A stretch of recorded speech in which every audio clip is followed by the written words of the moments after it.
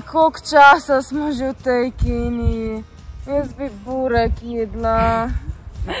Uh, draga moja, pa še en mesec boš. Ja, sej, ostanite tukaj še en mesec. To bo ful dobro za vas. Naš coach, presežem. Ej, a ti sploh veš, kaj se dogaja kaj v Sloveniji? Pa ja, malo preberem novice vsake tok. Šole odprte, šole zaprte, šole odprte, šole zaprte. Ampak, lahko pa kupaš pustni kostum.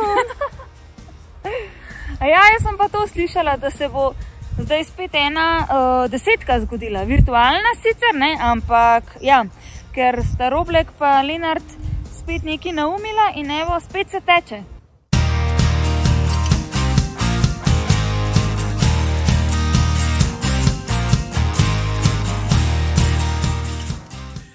Živijo in pozdravljeni, dragi poslušalci in gledalke. Tole je podcast za gred za tek in jaz sem Marko Roblek, več gostitelj. Dobrodošli v moji družbi. Takole januar je za nami, kar ste imeli novoletnih sklepov, so najbrž že šli v franže, tako da brez slave vesti lahko spet živite, brez vseh teh obremenitev. Seveda vas hecam, prav za nalož sem danes pripravil temo. Uh, ki vas bo navdušila do te mere, da boste poskušali ustrajati, če že ustrajate še dlje, Uh, najprej pa zanimivost preteklega vikenda.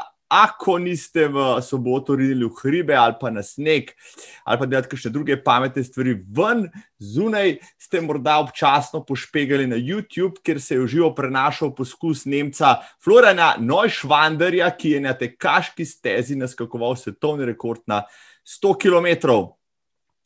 Projekt je sponsoriral Garmin in tudi platforma Zwift. Za tiste, ki je ne poznate, gre za aplikacijo, s katero lahko virtualno tekmujete z drugimi po svetu. Potrebujete pa seveda tekaško stezo z monitorjem za začetek in račun v tej aplikaciji.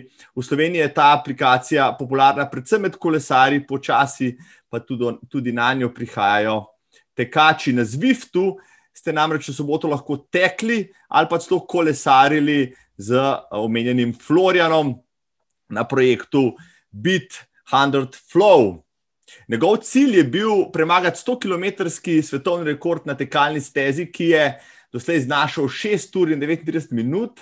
To je približno ravno 4, 4 minute ali pa malo pod 4 minute za kilometr.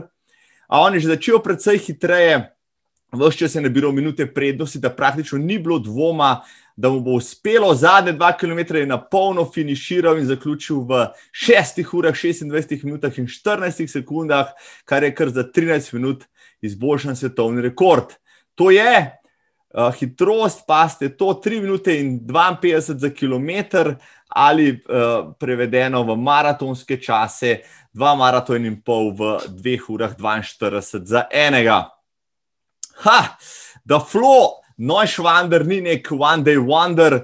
Vemo že iz preteklih let, bil je nekaj let zelo visoko uvrščen na Wings for Life, tekmoval je na Western States, recimo. Lani je postavil tudi svetovni rekord na stezi na 50 km in v teku desetko, mimo grede, s časom mal nad 30 minutami. Tako da nedvomno bomo za tega na izgled hipija, dolgolasega, brkatega Nemca, ki je neverjetno hiter in neverjetno vzdržljiv. Še slišali, uh, čestitke in bravo, flow, uh, tudi Slovenije, mogoče te pa povabimo na nočno desetko letos. Mimo grede, uh, YouTube kanal Zagred za tek je presegel 10.000 ogledov, za kar se globoko zahvaljujem. Hvala, spoštovane in cenjeni počasi nabiramo tudi naročnike, tako da če še niste, klik, klik, naroči se in bodi na tekočem z novimi epizodami čisto pravega slovenskega tekaškega podcasta. Hvala vsem tudi za deljenje, všečkanje, poslušanje na audio platformah, za vse besede podpore in vse komentarje, ki mi jih pošiljate. Vsaka ocena tudi na Apple podcastu zelo pomaga, da za to dajo slišijo še tisti, ki je ne poznajo in da tudi tako še koga navdušimo tudi za tek. Facebook stran za Gred za tek uh, je že skoraj na tisoč všečkih, juhej, dobrodošli, tudi novi. Uh, tam bom pogosteje objavljal tudi linke do novic, idej, uh, predloge in še kaj. Se priporočam tudi za vaše ideje in prispevke, bodo našle pot na stran za Gred za tek na Facebooku. In da ne pozabim, hvala od srca za vse donacije, ta teden še posebna omemba in zahvala gre Petri. Hvala ti, Petra, pa da te čim prej spet vidim, laufat. Ej. No, če smo že pri številkah, spremljate namreč 21. epizodo podcasta v letu 21, smo in ker sem le številke vedno všeč, sem za tole epizodo izbral temo, ki se ukvarja tudi s temi številkami. Namreč, a poznate koga, ki teče vsak dan in to počne recimo že več mesecev ali pa celo več let. Pred kratkim sem namreč prebral knjigo Running with Raven, avtorice Lore Lee Hutenbach, ki popisuje življenjsko zgodbo Roberta Krafta, ki ga vsi imenujejo Raven, po slovensko Vran. Robert se je namreč 1. januarja 1900. 75 kot mlad pisec pesmi, brez uh, točnega poslanstva v življenju in po seriji razočaran, uh, odločil, da bo eno leto tekel vsak dan svojih 8 mil po krožni poti na plaži na Miami South Beachu. Ko je leto minilo in ko je nekajkrat vmes trmasto šel teč v izbolance, pa polomljen in bolan, se je odločil, da bo s tekom pač nadaljeval, ker, je, ker mu je nekako usmišljal uh, uh, njegovo eksistenco. Se pravi, vsak dan po šestih zvečer na peščeni plaži Miamija, dan za dnem, mesec za mesecem, leto za letom. In sčasoma so zdaj izvedeli tudi ljudje uh, širom Združenih držav, pa tudi po svetu, in od takrat praktično ni več dneva.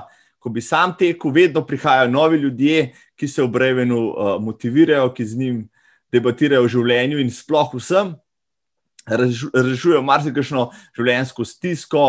Uh, na en način je Raven tisti, ki jim nudi uh, prav posebno tekaško terapijo. Raven tudi sam vodi točno evidenco več tisoč tekačev, ki so kadarkoli tekli z njim na seznamu. Če ga boste pogledali, boste najeli tudi več slovencev.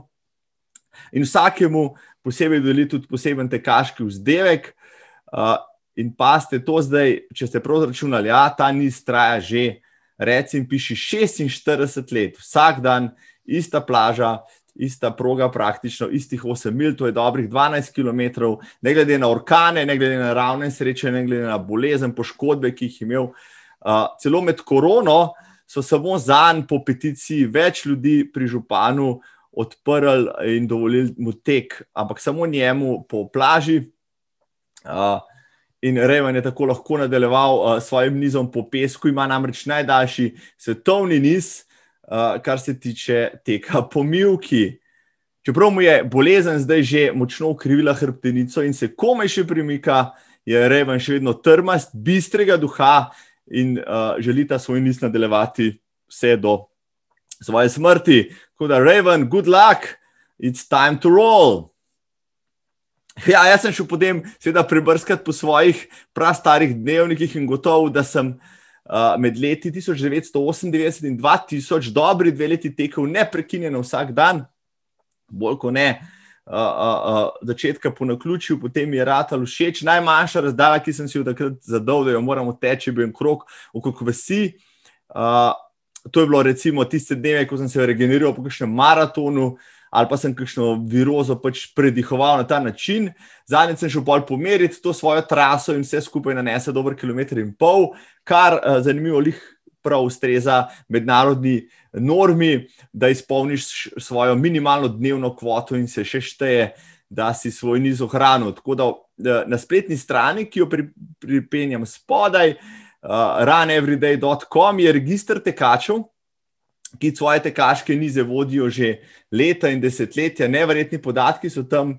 Registr sicer loči med aktivnimi nizi, to je tistimi, ki se še nadaljujejo, zdravi tekači še vedno tečejo in pač retired, se pravi pokojenimi nizi tekačev, ki so nekdaj tekli in so te svoje nize pač zaključili, ampak uh, objavili, da jih pač mi lahko spremljamo in primerjamo.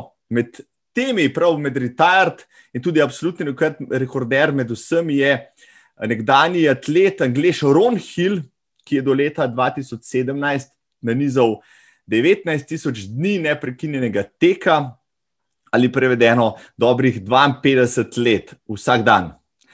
In takoj za njim je prvi aktivni nizni tekač in ta termin smo v soboto z Urošem kraljem uh, skovala skupaj.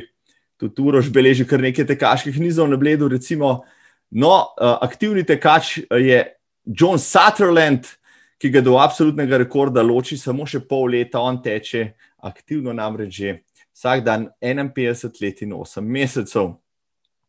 Med ženskami je uh, na vrhu lestvice uh, 84-letna američanka Lois Bastien, uh, pred kratkim je zaokrožila 40-letnico neprekinjenega teka, zdaj pa se že bliža naslednji meji, to je 15 tisoč neprekinjenih dni.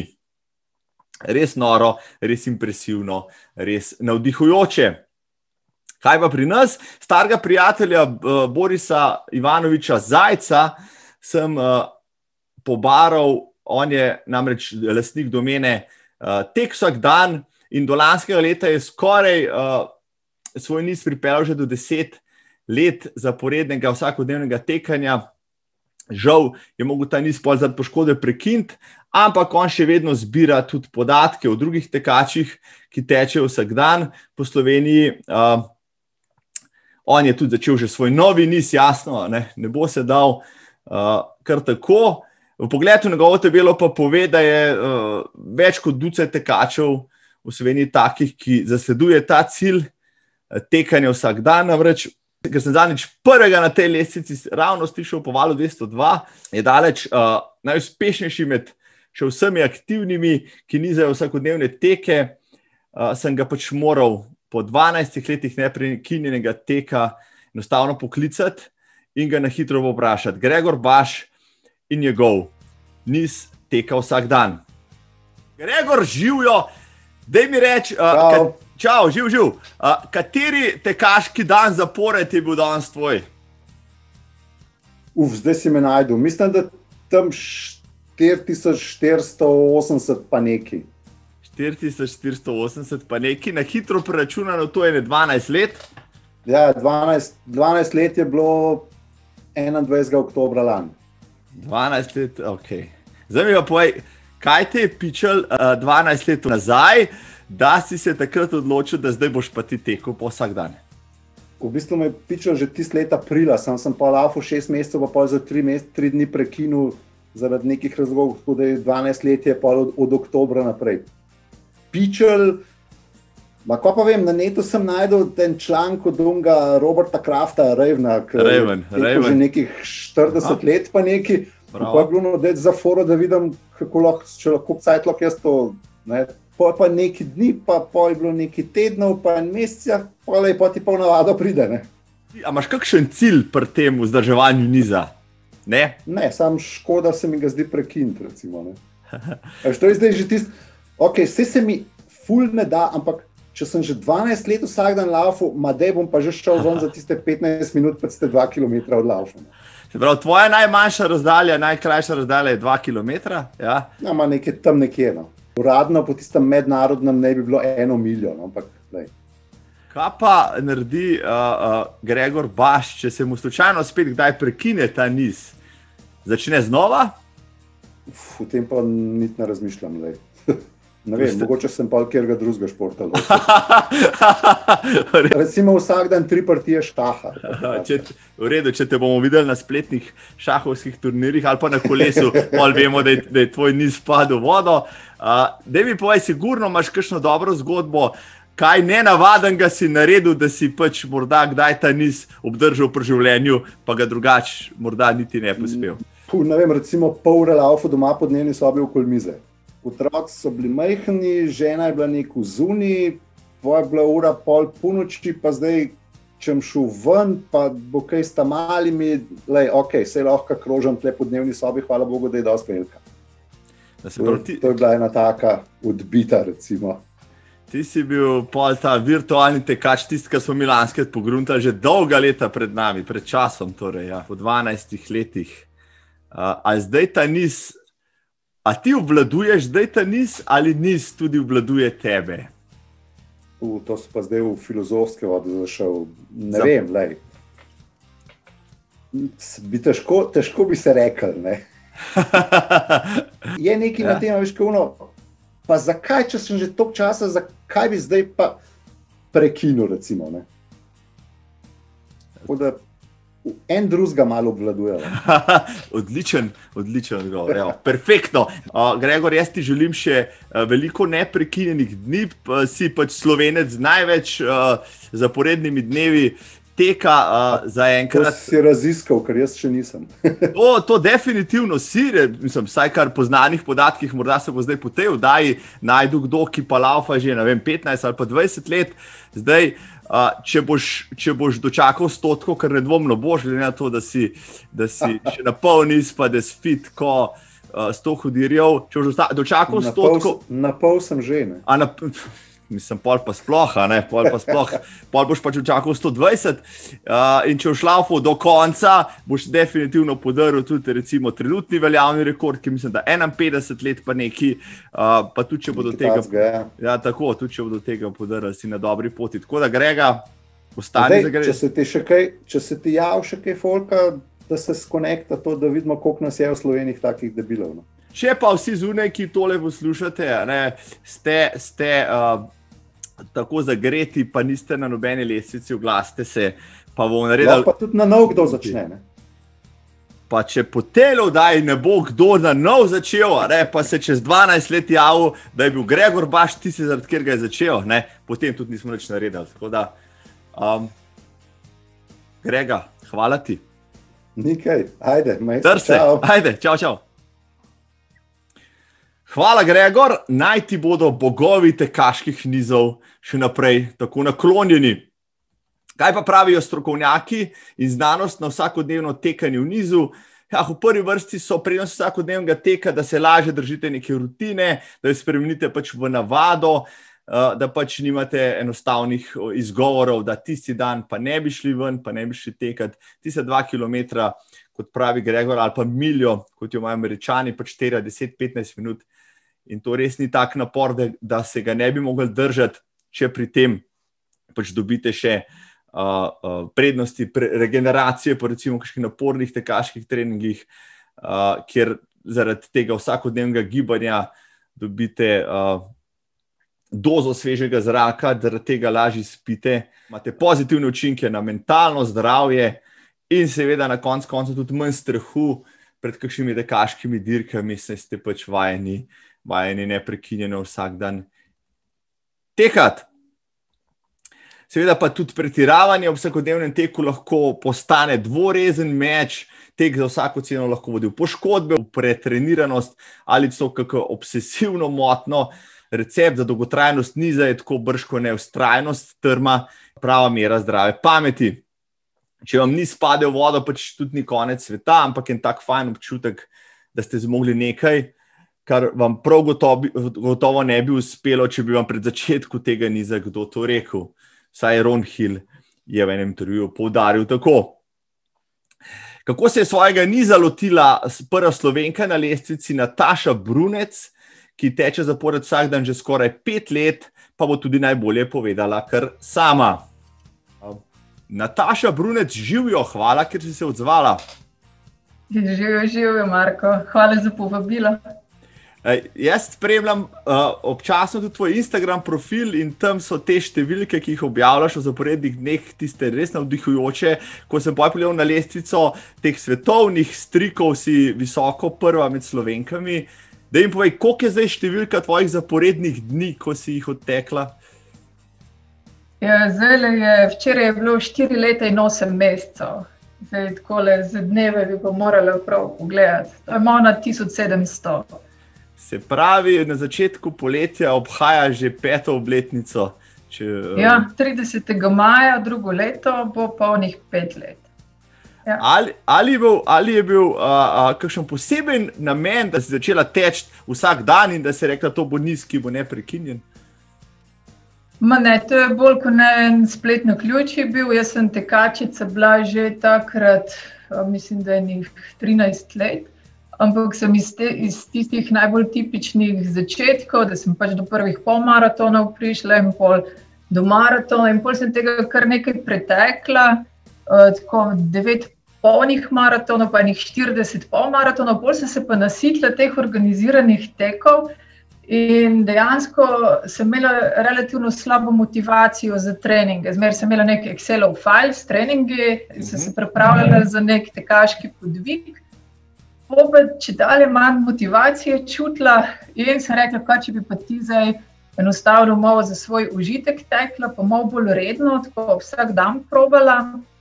Sem lihano knjigo takrat brala Moč navade od eh, Charlesa Djuvkega in tam potem on meni ful pomagal s tem, da uh, kako pravzaprav navado spostaviš. Se jaz hotela tek kot navado, kot eno dobro življenjsko navado, ki se pol preliva tudi na vsa druga področja življenja.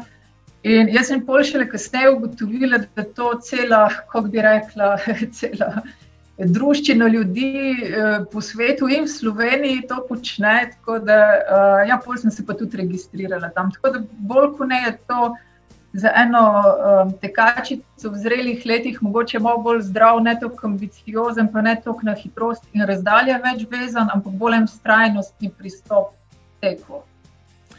Tako. Prav, odlično, odlično. Zdaj le sem tokenih asociacij dobil, uh, ravno prej v napovedi sem rekel, da uh, je tek, uh, tek vsak dan lahko uh, dobra vaja iz, iz uh, se pravi, učenja, navade. Ponavadi pravijo, da rabiš na dva meseca, da navado usvojiš, in potem po dveh mesecih tudi tekanja, najbrž ta zadeva ti pride v kri. Zdaj mi pa uh, moraš povedati, če je bila kakšna zelo nenavadna dogodivščina uh, v teh svojih skoraj petih letih, ko si pač ta zaradi, zaradi ustrajanja pač v nizu, zaradi vzdrževanja niza naredila kaj posebenega, da ti tisti dan tek pač enostavno ni ušel. Ja, to, tega je bilo veliko. Uh, sploh uh, jaz imam hčerko v Združenih državah Amerike in zmeraj, ko sem pol te čezoceanske lete imela, je to bilo treba prav vnaprej načrtovati, kdaj bomo tekli, da bomo vsakih 24 ur odtekli vse to milijo. Tako da tako zanimivo je bilo, da sem na letališču v Trstu morala teči, preden sem šla na letalo, da sem bila pač po predpisih. In pol se vede tam okoli unehale in ti gledajo varnostniki in ljudje. Enkrat sem v Izoli z enega koncerta, malo preveč mi je všeč bilo in sem pol rekla, noč bom kar v teh dnevnih oblačilih in v Japankih proti domu tekla. In sem, tako da kakšne tašne specialne teke sem tudi izvajala. Ja. No, ampak kakšnih poškodb, bolezni, kaj takega te pa ni, te pa ni doletelo v teh, teh letih. Ja? Uh, Imela sem kakšno virozico, ampak to niti ni tako, uh, mislim, tek, tu zdaj razen, če bi kakšno hudo vročino imela, to nisem. Uh, tako da to, to se je dalo, pač potem res tisto umilijo, pa ne greš fest. Ponovadi sem se celo po tem teku, ne glede na bolezen, malo boljš počutila. Imela uh, sem pa vmes en bursitis, uh, tudi tako, da sem takrat sem pač pol res tiste milje tekla, dokler se ni umirilo po velikih teh, uh, uh, kaj so. Uh, kakšno kurkumo, pa ananas, pa take zadeve. Protivnetni, ja, tako. tako. Ja, protivnetnih, teh naravnih, pa mogoče tudi če kakšno zdravilo vmes, tako da je šlo hitreje mimo. Drugače pa ne. Sem zdrava vse čas, to so res izjemoma kratka obdobja, sem imela kakšno težavico ali pa dve. Pa imaš mogoče v planu kakšno, cilj, kakšno ciljno številko dni za dosežt, ob kateri bi bila recimo posebej ponosna, a pač greš dnev dan. Ja, zdaj upamo, da ta petka bo. No? Ta petka je potem tudi tam pri teh eh, mednarodnih tekačih. V bistvu Druga. prideš v nek rang, eh, mislim, da se reče proficient, ali nek, nek naziv dobiš, tako kot malo bolj si pol že, ker to pa pač tudi pet let moraš relativno zdrav biti, pa kar vztrajen. Tako da to petko, lahko pa tle povem eno anegdoto. Um, en kolega mi je, ko sem jaz to tako čist uh, brezciljno začela, uh, sem rekla, gledaj, bom eno leto, to, da si dokažem, da se to da, bom pa nehala. Pa mi je rekel, da se ti veš, da ne boš mogla letu. Kako si zdaj to rekel, zakaj si zdaj to povedal? In je bilo res, v bistvu jaz po enem letu se mi je bolj zdelo, kot da bom vse stran vrgla. In, in bolj te kar, mislim, pa ena druga narava postane. No, tako, ja. Če bi, če bi zdaj, zaradi kakršnega koli razloga, mogla prekiniti niz, bi ga začela znova, Uh, ja, to sem jih uh, ne tako dolgo nazaj, uh, Boris Ivanovič, ki je tudi hud. Uh, uh -huh. verjetno poznaš. če- Sem ga omenil, ja. Tako, eh, pravzaprav oni baš sta tako, pač ja, legendi tega vsakodnevnega teka. In on je moral prekiniti in je znova začel in se je rekel, wow, sem jaz takšen karakter, da bi pol tako na, na skoraj deset let, ne vem, pojma nimam. To, to me lahko pol vprašaš, ne vem. Recimo, da te ne bom rabil vprašati, rečemo tako. Recimo, upajmo. E, In čist provokativno, čist za konec, ali ta niz obvladuješ ti, ali tudi niz lahko kaj obvladuje tebe. To pomeni, da, a, da je niz tisti, ki ti lahko diktira, da pač a, a, boš tekla tudi z zlomljeno nogo, pa z gipsom po eni nogi, ali pa boš, ali, ali bo kakšna situacija, ko boš ti rekla, ok, zdaj se pa lahko tega, tega niza poslovim, nisi ti uh, uh, uh, tisti, ki me kontroliraš, jaz bom rekla, kdaj ga bo konec, kot sem rekla, kdaj se je začel. Moj, glede tega sem kar pragmatična. Po mojem, če bi res tako si ne želim, ampak če bi kakšna resna poškodba ali bolezen bila, ne bi zdaj iz glave vzeti. Ne. Um, gledam, ko sem tam na tej, uh, tej Facebook skupini od mednarodnih uh, vsakodnevnih tekačev. In ja, delajo ljudje, ljudje delajo svašta, um, celo nosečnost in pol takoj po porodu, in vse to punce zmorejo, in, uh, ali pa kakšni, ja, zlomljenimi nogami. Uh, sej, um, kdo je Ron Hill, ne? on je 52 let, mislim, da si prav zapomnil, da je tekel. vsak Tako, tako, tako, tako, tako. Tako da to, to so take, pač, po moje, izjeme, po moje, te kaj prej. Kaj drugega ustavi, ja, pa mogoče zdaj, ko glasno tole razmišljam, zelo verjetno bi pol znova začela. nis, Ja. Pa sva prišla tudi do tega odgovora, to mi všeč. Nataša, Nataša, jaz ti želim še veliko, izjemno veliko neprekinjenih dni, ko boš imela pa, eh, recimo, deseto obletnico, eh, takrat se pa spet slišla, sliš, slišva, pa boš povedala še kakšno anekdoto eh, izmed, iz, iz vseh teh eh, vsakodnevnih tekov. Deseta si sliši hudo daleč, hvala lepa za lepe želje. Tudi tebi je veliko uspeha, eh, veliko novih poslušalcev, gledalcev, v užitek mi je bilo sodelovati in vse dobro. Nataša, hvala. Stani zagreta Čau, čau. za tek. Čau. Enako, čau. Evo. Hvala, Nataša. Še naprej bomo spremljali tvoj Instagram profil in se ob dneh, ko enostavno ni volje, poskušali vsaj malo zmotivirati za tek. Dragi moji, naj vas uh, sedaj jaz malo zmotiviram. Punci v uvodu te epizode sta že nakazali, da se ta vikend nekaj dogaja. Ja, virtualno boste tekli in to ne čisto brez veze. Uh, projekt Happy Gym in nočne desetke z naslovom 10K Challenge oziroma Happy Gym in nočna desetka 10K Challenge vas med petkom in nedeljo vabi, da utečete desetko kjerkoli in se potegujete za lepe nagrade. Namreč dva izmed vseh in dva najhitrejša, se pravi moški in ženska, uh, dobijo ekskluzivni trening z ekipo Happy Gyma in knjigo za gred za tek. Uh, vsi, ki pa najhitrejše v teh atletih prehitite, ste prav tako vabljeni v to uh, posebno ekskluzivno druščino. Bi tekli z bodočimi olimpijkami? Kdo ne bi, poklikajte event na Facebooku, članite se v Strava klub, splanirajte 10 km ta vikend, spremljamo vas, nagrade so lepe. Ampak ne raje poveste to ne in Laura, neposredno se javljata iz Kenije. A ja, jaz sem pa to slišala, da se bo zdaj spet ena uh, desetka zgodila, virtualna sicer, ne, ampak ja, ker sta Roblek pa Lenart spet nekaj naumila in evo, spet se teče. Drugač, a veš, kak, kakšna je pa nagrada? Mm. Pridejo k nam na trening zmagovalci, kaj je pa to? Uh, fantje, trenirati! Daj no, sej, da smo punce boljše, kaj ti zdaj ni jasen? Ne, se to imaš prav, to imaš prav. Tako da, drage tekačice in tekači, hiter imate še nekaj časa, malo potrenirati, od 5. do 7. februarja uploadati rezultate, pa da vidimo, kdo pride. Ker z nami na treningu je pač zabavno, tako milijon zabavno. A ne, ne.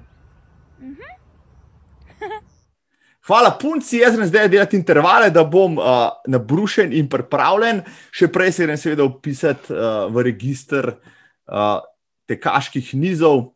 Vam pa, uh, drage in cenjeni, ponujam v oglečen zabavni film. Vem, da ste ga že vsi videli, ampak po tolikih letih ne bo več ponoven ogled. Ni zgolj tekaški film, jasno, a mnoge lesice ga prav v tej kategoriji uvrščajo na sam vrh. Omenil ga je tudi samo Rugel v tem le podkastu pred časom. Forrest Gump je poseben hecen, srce parajoča, vse čas neverjetno navdihujoč te kaške scene iz filma, pa ni urak, da vas vsaj malo ne poženejo tudi v dir. Tako da prijeten ogled vam želim. Se vidimo v petek, če imate kakšno vprašanje za Mitijo Krevsa, ki prihajajo goste na dan z besedo, z veseljem ga poprašam, vi pa ostanite zagreti za tek, se vidimo tam zunaj. Čau!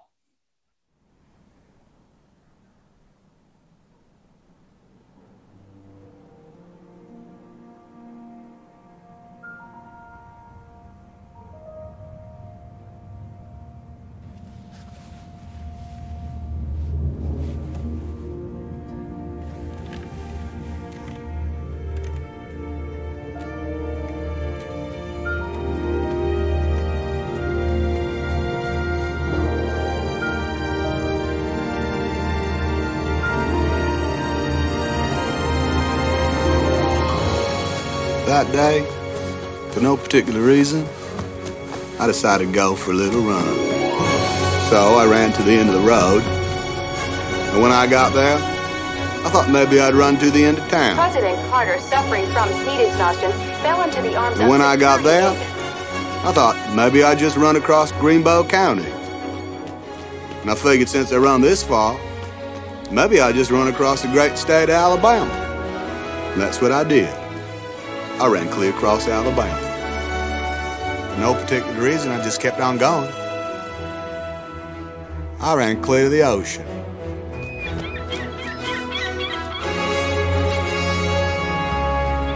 And when I got there, I figured since I'd gone this far, I might as well turn around, just keep on going. When I got to another ocean, I figured since I'd gone this far, might as well just turn back, keep right on going. When I got tired, I slept. When I got hungry, I ate. When I had to go, you know, I went. And so you just ran. Yeah.